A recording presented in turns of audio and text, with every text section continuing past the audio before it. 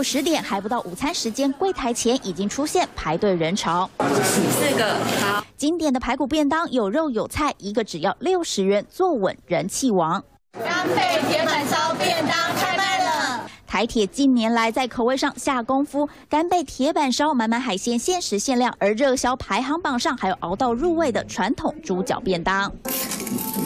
宜兰特产樱桃鸭也入菜，搭配三星葱蛋，展现地方特色。现在台铁打算开放便当加盟，明年开始想吃台铁便当不必再到火车站。有点失去特色，要在台铁车站买会比较好，感觉比较有那种怀旧感觉，不错啊，嗯啊，阿德方便啊。虽然方便，但也怕失去这份古早味。被称为是台铁金鸡母的台铁便当，光去年就卖出了一千多万个，创下七点四亿营收数字，破历年来最高纪录。用品牌授权加盟，那他们做出来的东西要经过我们的测试之后，我们的厨房大厨这些测试之后可以了，我们让他去推出来，这是有这种模式。